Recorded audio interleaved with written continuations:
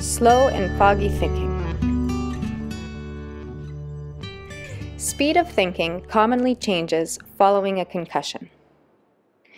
You might find you're having difficulty keeping up in conversations, or you need to pause to think longer before responding.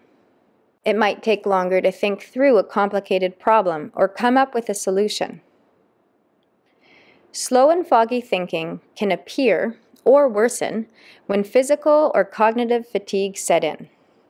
Therefore, be aware when this happens and understand it as a sign to take a break.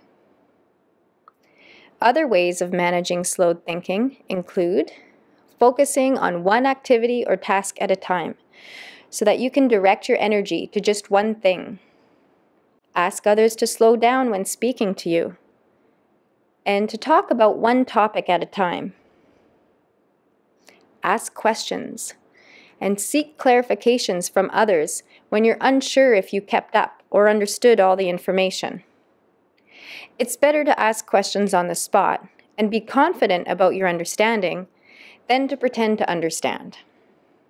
Give yourself extra time to complete tasks, knowing that your current speed is slower.